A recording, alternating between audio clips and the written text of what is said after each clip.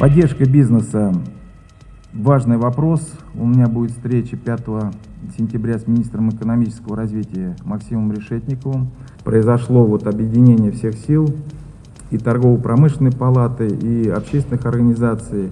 Соответствующие Соответствующее решение мы принимали и по льготному налогообложению, и по персональной меры поддержки тем организациям, которые действительно нуждаются в этом.